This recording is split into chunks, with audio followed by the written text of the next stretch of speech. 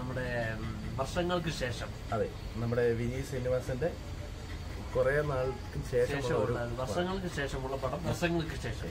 അതായത് നമ്മുടെ പ്രിയപ്പെട്ട പ്രണവാണ് ഹീറോ ആയിട്ട് വരുന്നത്. പിന്നെ ധ്യാൻ ശ്രീനിവാസനുണ്ട്. പിന്നെ അജു വർഗീസ് ഉണ്ട്. നിവിംബോളി ഉണ്ട് സിനിമയ്ക്കകത്ത് പറഞ്ഞ എല്ലാ നാറികളും ഉണ്ടല്ലോ എന്ന് അതിനകത്ത് തന്നെ പറയുന്നുണ്ട്. അതുപോലെ. അതിനകത്ത് പറയില്ല കേട്ടോ. അപ്പൊ എല്ലാം ഇതിനകത്തുണ്ട്. അത് നമുക്ക് കണ്ടു കണ്ടു നോക്കാം കല്യാണി കല്യാണി. ആ കല്യാണി ഉണ്ട്. കഴിഞ്ഞു. இது ஒரு கலைஞரோட கை கூடிய சீக்கிரமே மிகப்பெரிய வெற்றி வரப்போகுது உங்களுக்கு എടാ, നീ എഴുതിയത് എനിക്കൊരു സിനിമ കാണുന്ന പോലെ കാണാൻ പറ്റുന്നുണ്ട് നീ നാടകത്തിൽ നിൽക്കേണ്ട ആളല്ല തനിക്ക് നാടകത്തിന്റെ കഥ വല്ല അറിയോ എടാ കോടമ്പാക്കത്താണ് നമ്മൾ താമസിക്കുന്ന ലോഡ്ജ് ഫാമീസ് ലോഡ്ജ് കുറച്ച് വെള്ളം ചേർക്കല്ലേ കുറച്ച് വെള്ളം ചേർക്കാം കോഴിക്കോട്ട്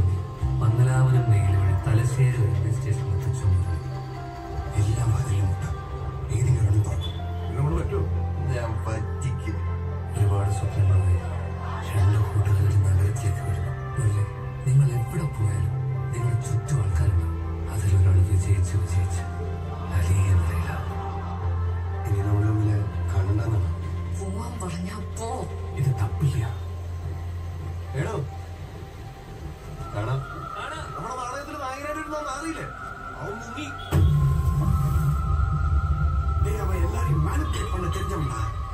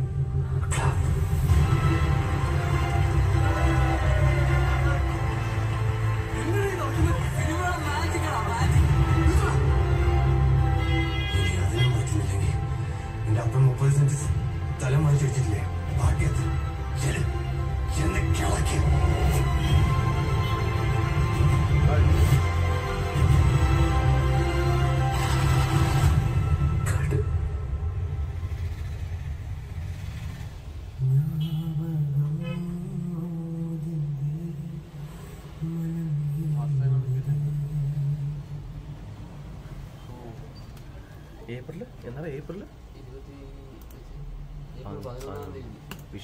അപ്പൊ അതിന്റെ ഇത് ട്രെയിലർ കണ്ടിരിക്കുന്നു.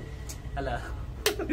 അല്ല നമ്മളിപ്പോ കണ്ട ട്രെയിലർ ഞാൻ ഉദ്ദേശിച്ചല്ല ഈ പടം ഞാൻ ഉദ്ദേശിച്ചൊരു ഒരു പൈങ്കിളി ഒരു ഒരു സെറ്റപ്പ് എന്റെ മനസ്സിൽ അങ്ങനെയായിരുന്നു. ആ പക്ഷെ ഈ വിനീത് ശ്രീനിവാസന്റെ പടം പൊതുവെ എല്ലാം പൈങ്കിളി പടം തന്നെയാണ് അത് നമ്മുടെ തട്ടത്തിൽ മറയത്ത് തൊട്ട് ഒരു കുറച്ചൊക്കെ ആക്ഷൻ രംഗങ്ങൾ അതാ ഞാൻ ഉദ്ദേശിച്ചത്.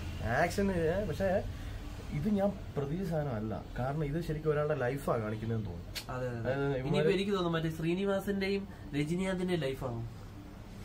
അങ്ങനെ ഒരാളെ സെറ്റപ്പല്ലേ പക്ഷെ അതിനകത്ത് പക്ഷേ വ്യത്യാസമുണ്ട്. അല്ല അവർ തമ്മിലും ഈ കുടുംബത്തിലുള്ള കണക്ഷൻ ആണല്ലോ.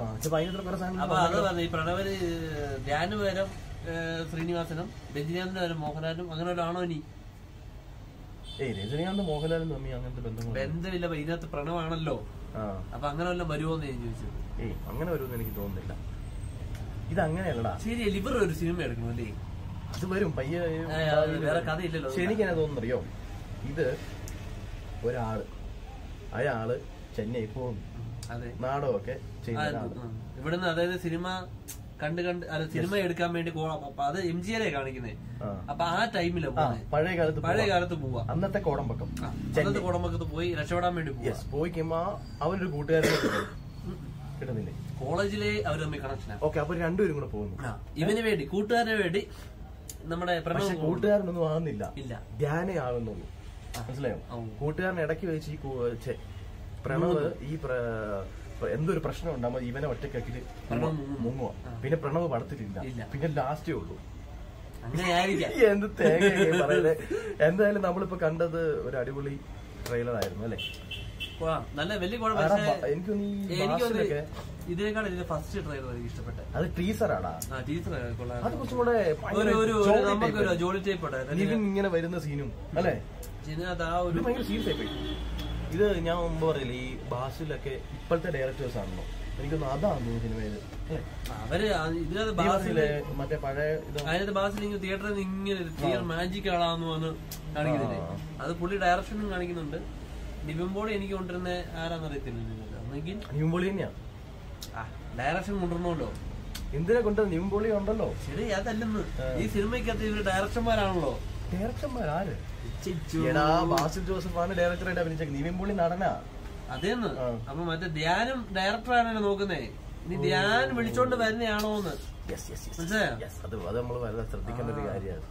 എന്തായാലും ഏപ്രിൽ പതിനൊന്നിന് പടം. ഇനി ഇത് മാർച്ച് അല്ലേ? ഇത് മാർച്ച് ഇരുപത്തി ഒന്ന് അതാണില്ല. അപ്പൊ ആടുജീവിതം വരാനുണ്ട് ആടുജീവിതം വരാനുണ്ട്. അപ്പൊ നമുക്ക് എല്ലാം മലയാളത്തിൽ ഈ വരുന്ന എല്ലാ സിനിമകളും നല്ല അടിപൊളി പടങ്ങളെല്ലാം. കാരണം എല്ലാം നൂറ് കോടിയുടെ മേളി അടിക്കുന്നുണ്ട്. സിനിമയെല്ലാം. അപ്പം മറ്റേ മൂന്ന്? ആ, മഞ്ഞുമൽ ബോയ്സ് ഇരുന്നൂറ് കോടി രൂപ കളക്ട് ചെയ്ത് കഴിഞ്ഞിരിക്കുന്നു. അത് നമുക്ക് നല്ലൊരു സന്തോഷമായ ഒരു വാർത്തയാണ്.